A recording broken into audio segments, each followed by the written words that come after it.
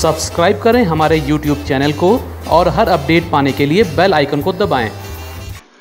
जानवी कपूर और ईशान खट्टर की फ़िल्म धड़क का धमाकेदार ट्रेलर रिलीज़ कर दिया गया। ट्रेलर में ईशान और जानवी केमिस्ट्री कमाल की दिखाई गई है। फ़िल्म की कहानी राजस्थान की पृष्ठभूमि पर आधारित है। इसलिए फ़िल्म दोनों ही थोड़ा थोड़ा राजस्थानी भाषा बोलते नज़र आ रहे हैं। ईशान और जानवी की ज़बरदस्त केमिस्ट्री आपको बता दें कि फ़िल्म दो कॉलेज स्टूडेंट की लव स्टोरी पर आधारित है, जो एक दूसरे से बेहद प्यार करते हैं, लेकिन लड़की के परिवार को एक रास नहीं आता। परिवार की रजामंदी के खिलाफ दोनों भाग जाते हैं, और उसके बाद उन्हें किन किन मुश्किलों का सामना करना पड़ता है, इसकी एक झलक आप फ़िल्म के ट्रेलर में देख सकते हैं। आशुतोष राणा, बाहुबली नेता के किरदार में नज़र आए। बता दें कि फ़िल्म की कहानी राजस्थान की पृष्ठभूमि पर आधारित है। ये फ़िल्म मराठी फ़िल्म सैराट का ऑफिशियल हिंदी रीमेक है।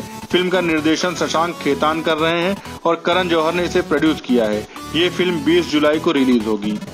सब्सक्राइब करें हमारे यूट्यूब चैनल को और हर अपडेट पाने के लिए बेल आइकन को दबाएँ।